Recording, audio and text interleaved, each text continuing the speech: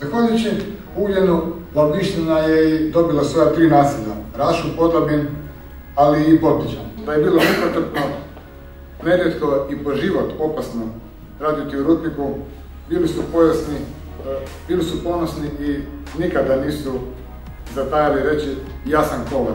Danas je da se zalažemo za naše vrijednosti koje su utkane u samu bit našeg istarskog plana. Nemojmo zaboraviti da upravo tada u tom rudniku je radilo, nisu radili samo Babinjani, nisu radili samo Hrvati, nego tu je bilo prije svega svih nacija, različitih vjera, a to se nastavilo i do zadnjeg dana do kad je rudnik radio. Bojanina ne nama, draga je